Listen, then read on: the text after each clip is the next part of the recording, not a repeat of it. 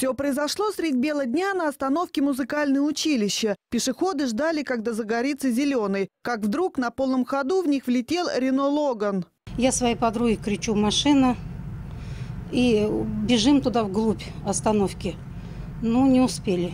Теперь главное доказательство в этом деле – запись видеорегистратора и уличной камеры. Вот водитель Логана при подъезде к перекрестку улиц Меркулова и Водопьянова пересек двойную сплошную линию, потерял контроль над автомобилем и выехал на тротуар. Дальше все как в тумане. Причем как для самого таксиста он был пьян, так и для пострадавших. Я ничего не помню, потому что когда я даже не помню, как, куда я отбежала, ничего. Я уже очнулась в больнице на следующий день. Какие травмы? Черепно-мозговая травма с кровоизлиянием, с большой гематомой и перелом кисти правой руки. Сегодня в суд пришли трое липчан. Они пострадали больше остальных. Еще двое отделались легкими травмами и сильным испугом. Никаких извинений, никаких раскаяний, ничего от него не было.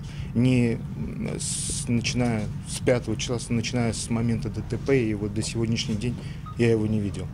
Не увидел Андрея Кравцова сегодня и судья. Горе-водитель просто не явился. С октября он находится под подпиской о невыезде. Где подсудимый, не знает даже его адвокат. И лишь соседи Кравцова по дому догадываются. Он уехал из города. Его нету тут, он тут не живет.